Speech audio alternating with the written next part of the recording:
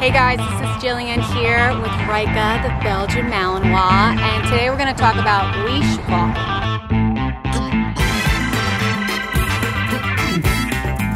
Ryka was really, really stubborn. She was very anxious in the beginning, and there are so many new smells, and she wanted to explore. We wanted to teach her how to walk alongside us calmly.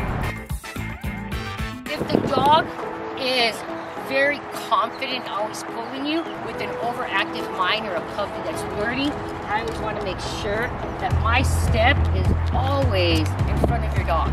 This allows the dog to always understand that I'm the leader, I'm the, I'm the pack member here. If I'm like this or like this, I'm telling my dog, go ahead, you're leading my way. No point for me to move forward if the dog's not relaxed.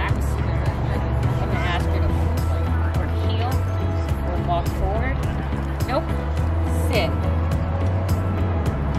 Yes. Wait.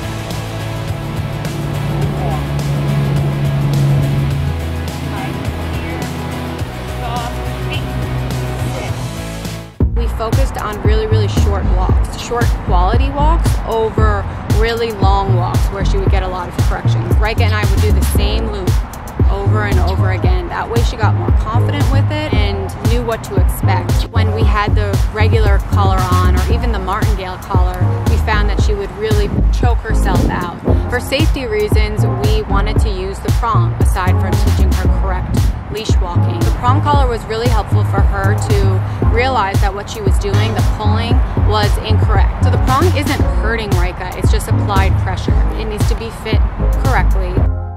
You use that it's an extended hand. We're gonna tap it here, no touch. See she's walking ahead. Hey, hey, no. Nope. No.